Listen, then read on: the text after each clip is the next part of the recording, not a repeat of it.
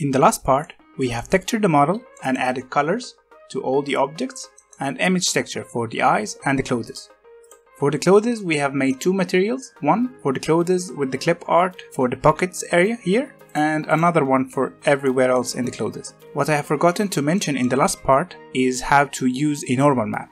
A normal map is an image that can make an illusion of depth to a texture. It can make the texture pop out and be more realistic. So let me show you how to use it very quickly. In the shader editor, select these three nodes, press Shift D to duplicate them, and in this image texture, press this icon to choose another image, and then go to where you saved the image, and choose the normal map that you have downloaded which looks something like this. If you went to the link in the description below, I will be linking to this page. You'll see that the normal map is right here, so make sure to download it. Then insert it in the image texture here. Make sure that the color space is set to non-color. Then press Shift A and from vector choose normal map.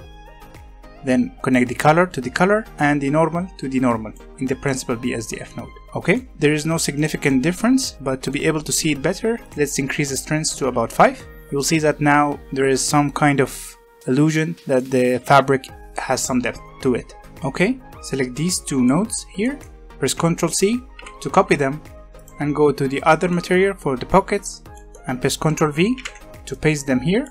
Take the mapping node and the texture coordinate node of this texture and copy them here. Connect the vector to the vector of the image so that you can have the same mapping of the original diffuse image the same with the normal map. Okay, now what's left is connect the normal to the normal.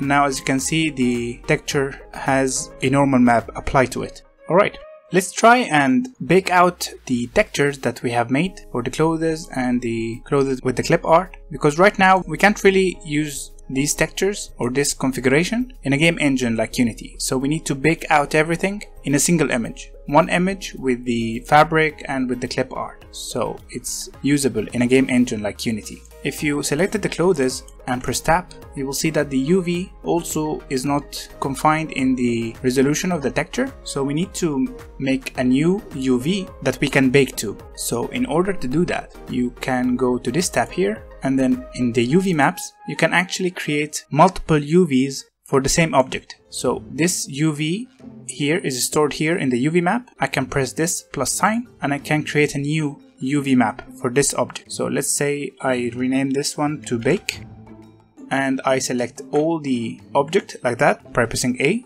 then I press U and I select unwrap. What will that do is unwrap the model in the new UV map that I've created. If you select it on the UV map, the old one, you'll see that the old UV map is still there. But we have added this one so we can bake to it. To do that, press Shift A and from texture choose image texture then instead of pressing open, press new to create a new blank image and rename this one to diffuse.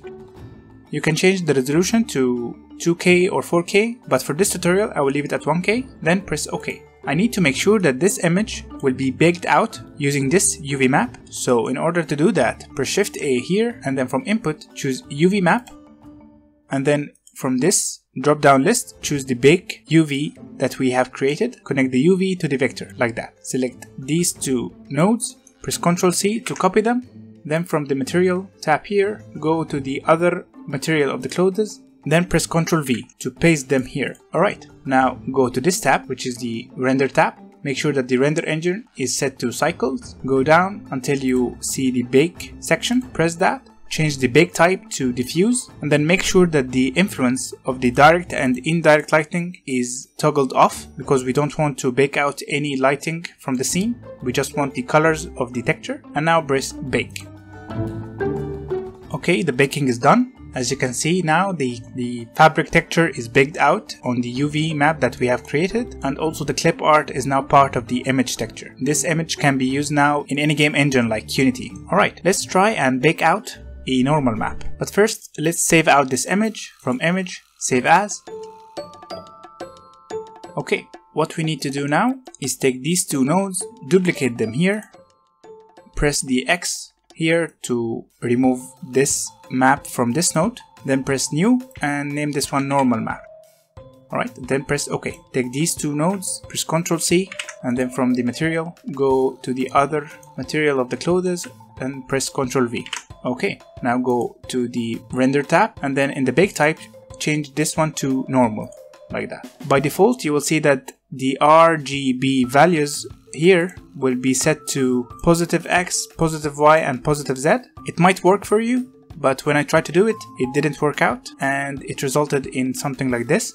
And this normal map will not work. It needs to be purple color. The yellow color means that there is an error with the baking. What the yellow color mean is that it actually inverted. The normals are inverted. So I need to flip it out here by changing the RGB values to the negative X, negative Y, and negative Z direction. I'm not sure why it do that, but this has fixed the problem. Then press bake again.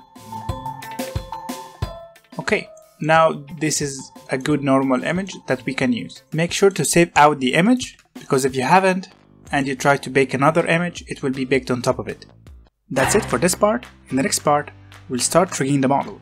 So if you want to follow up the rest of the series, make sure to subscribe and hit the bell icon to get notified as soon as a new part is uploaded. Thank you so much for watching and I'll see you in the next tutorial.